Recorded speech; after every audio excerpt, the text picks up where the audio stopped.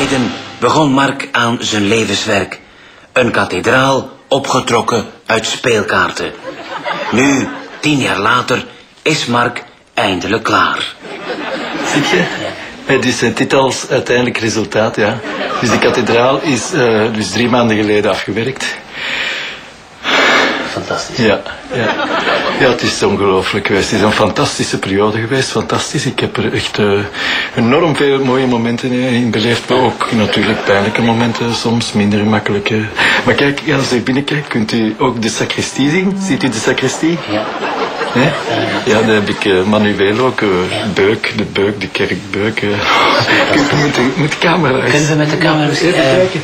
kun- even voorzichtig even met de camera ter, tegen... ja. Oh, jongens, voorzichtig. Jongens, jongens.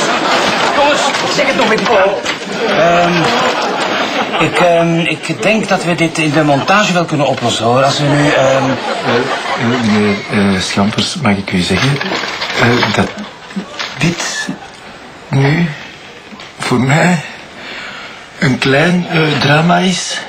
Mag ik dat zeggen? Bent u gechoqueerd? Als, bent u gechoqueerd dat, dit voor mij persoonlijk een, een, een tragedie is eigenlijk? eigenlijk? ik begrijp het Dat volledig. voor mij eigenlijk het einde betekent eh, van heel veel eh, waar ik nog in het leven van kon houden.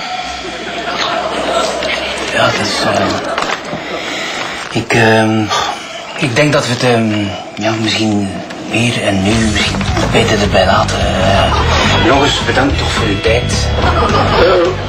Ik graag niet.